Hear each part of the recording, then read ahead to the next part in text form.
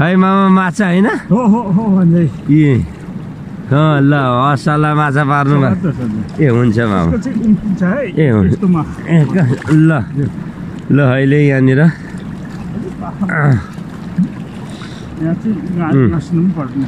यहाँनिर चाहिँ माछा परेको अवस्था छ।